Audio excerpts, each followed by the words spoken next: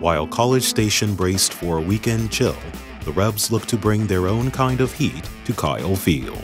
Everybody worry about, they talking about the cold. And know you ain't worry about no cold. Come here to play. I just don't want to embarrass them, you know?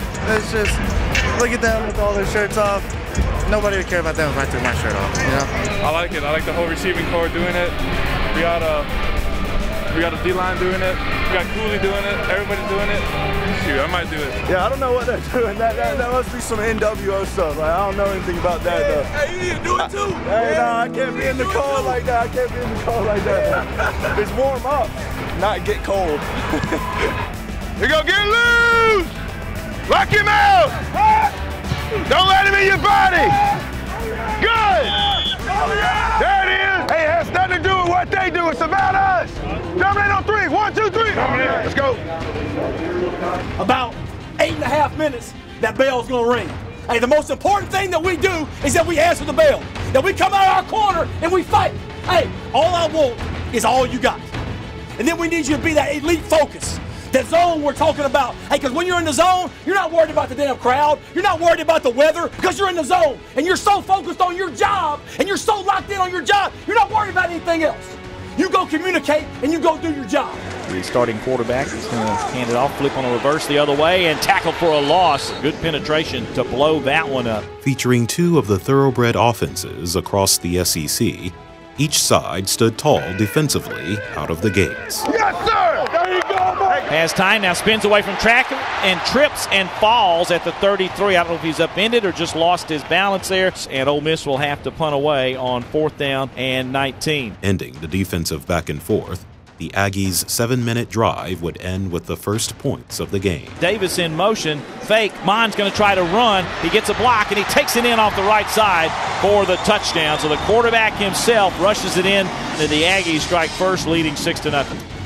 The lengthy and meticulous drive by the Aggies was countered by a quick strike from their guests. Now Woullard goes in motion behind the quarterback to the far side to give you four receivers there. He fakes the toss there, comes back to the near side of a hitch route, caught at the 34, breaking clear. Lodge down the sidelines of the 20, 15, 10, 5. Can he get there? He hits the pylon. Did he go out of bounds? They say no. Touchdown, Ole Miss. Good job by Ta'amu that time, looking everybody off, so focused to his left, comes a back round, puts that ball on the money, swinging his feet, getting those things set, and putting the ball where Lodge can get it. He catches it, rolls to the sideline, and once he gets a step, when, when the guy misses the tackle, he can run away from people. Appreciate that, bro. Hey, nice throw. Nice read. Let's go. Hey, I need to stop. I need to stop.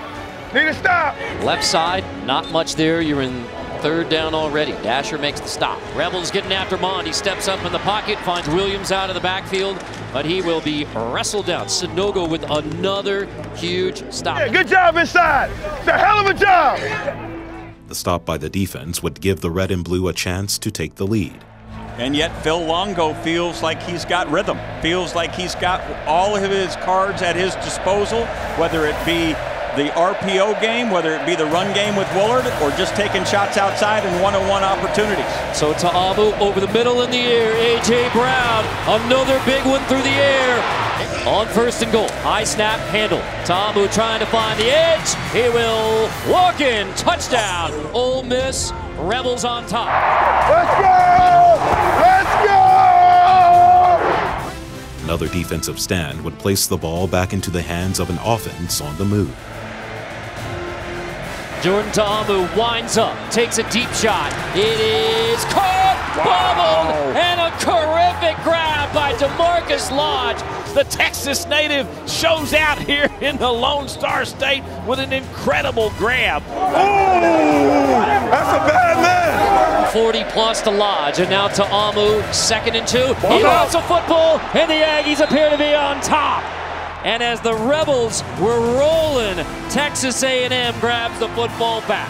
Now can the Aggie offense capitalize? Crossing route, open again, caught at the 45 and tackled at the 50 as Ausbon. They breathed a little life. Momentum changed. Now they they rushed it down and got it to the 21 of Ole Miss. Mond four completions, three of them to Ausbon. And now Mond to the end zone. Touchdown, Buckley. Aggies in the end zone. What a good half of football. 14-14 score. Hell of a half. Let's go. Let's go regroup. Let's go regroup. Bring it tight. Hey, hey, four round fight. Four round fight. Hey, now I want your focus to be there. And I want to finish this thing in the fourth quarter. Hey, let's go answer the bell now. Four round fight. One round at a time, right? Let's go get the third quarter, then we'll get the fourth. Hey, we're all we got? We're all we need. We're all we got? We're all we need. Family all three. One, two, three. Draw, off the right side, loses the ball. It's picked up by Ole Miss. Down the sideline to the 20 is Zedrick Woods. Woods is going to take it all the way in for the touchdown. That man run a 4-3-40 the four returns. Nobody for them. Do not catch him. Play action, double fake. He wants to throw. Got a man deep over the middle. Comes to the near side, and pass is going to be picked off by Ole Miss. It was Ken Webster. Oh! It's called home field advantage for a reason, and College Station boasts one of the best in the business. Riding the 12th man spirit, the Aggies would make their move to capture momentum and the lead. Mond on third and eight. Sternberger hauls it in. Huge grab by the tight end to take the Aggies inside the 20. Back to throw. Let's throw a route to the right corner of the end zone. Touchdown. Quartney Davis over the shoulder grab over Keidron Smith, and the Aggies are a PAT away from tying it. Kellen Mond, Sternberger, a laser from Mond to Jace Sternberger. It's third down and nine, not real good field goal position. From the 34, Mond trying to throw. Now he's going to take off and run, and he's going to be hit and dropped, and he'll be short of the first down after a six-yard pickup. They're going to send out the field goal unit, so a 46-yard effort. There's the kick, and it is good. Seth Small puts the Aggies on top, 24-21.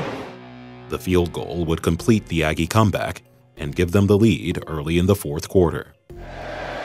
Play action pass over the middle. Got his man. Caught it. It's Cooley. Cooley racing down the center of the field. He's all the way down to the Aggies 33 before he's wrestled down. 34 yards to the 32. What a start. Big catch by Cooley, the tight end. 19 yards to the 13. Now, left side, Pellerin, who's actually playing quarterback. And from the 13, he'll get to the 10. A three yard gain. Second down, seven here. 22 yarder from Logan. Brown is the holder. The 22 yarder is no good. And the Aggies hang on to the lead. The miss would give the ball back to an Aggie offense eager to distance themselves from the visiting Rebels.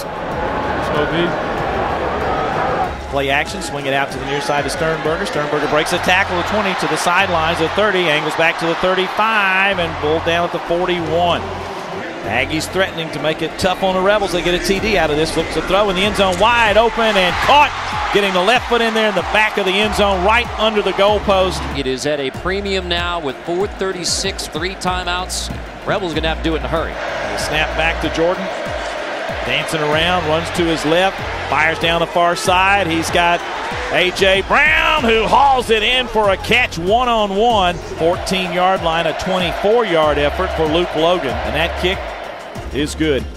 The field goal would cut the lead to seven, but the onside kick recovery by the Aggies would seal the fate for the Rebels.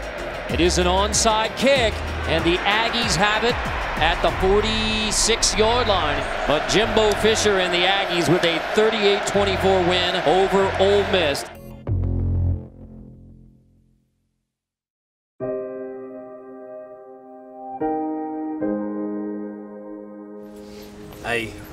In this together.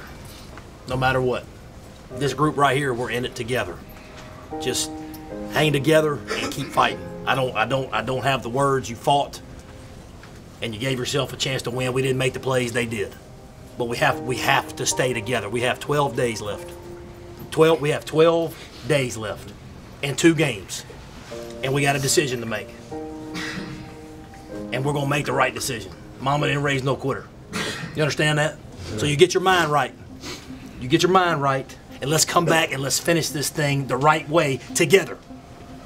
Y'all stick together, lean on each other. Lean on each other because we're in this thing together no matter what. No matter what. Stand back to back, and let's go finish this thing, Red, the right way. Let's go finish it the right way. All right, we got uh, we got a Saturday game and then a Thursday game. So you got 12 days, man. Let's go lay it on the line and finish it together. All right? All right. Family on three. One, two, three, family. we didn't execute on third down, and uh, you know that's that's that kept us out of some opportunities. And uh, just, we just need to finish some drives. Yeah, disappointing loss. Um, felt like the defense really played their guts out in the first half, gave us an opportunity to win. Um, credit Texas A&M; they they controlled the second half, um, especially the third quarter uh, in particular. They were able to hold on to the ball, um, and we just we couldn't get to a rhythm offensively. But uh, give those guys credit. We got to find a way to win. We're in the win business, and regardless of the circumstances, whether it's injuries, whether it's we have to find a way to win. That's what we signed up for, and that's what we have to get done. When you go through all the stuff that we've been through with, with this team and this family, I don't think anything else can can knock us down. I mean, we're gonna be mad about it today and get over tomorrow, fix the little things, but this family, uh, it's, it's unbreakable. Can't, can't anything take us down. We've been through a lot, and we're going to keep getting back up every time.